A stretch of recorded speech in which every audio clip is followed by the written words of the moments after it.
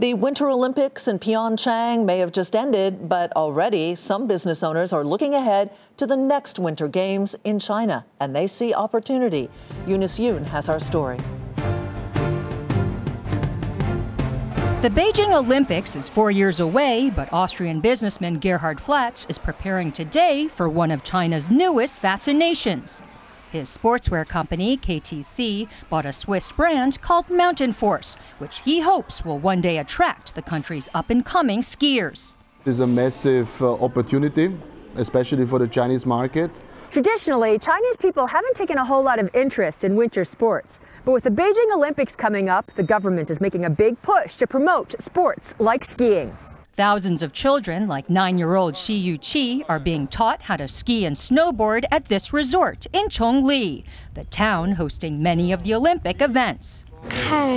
I watched some videos of snowboarders doing flips in the air, she says. It looks exciting. Other students in China are being required to get excited as part of Beijing's ambitious plan to put 300 million Chinese on the slopes by 2025. The government is even subsidizing ski trips for nearby schools.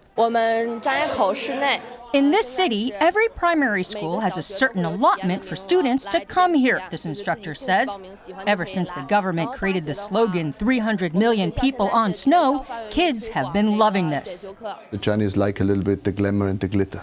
Businessman Flatz believes the grand effort will mean increasingly affluent Chinese demanding increasingly stylish ski wear. We see very much that the affluent Chinese consumers are skiing in Switzerland and they take pictures in a Swiss brand and that will definitely help us to boost the awareness on the Chinese market.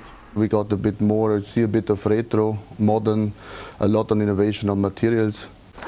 It's absolutely dry. You think Chinese people will like this? Absolutely.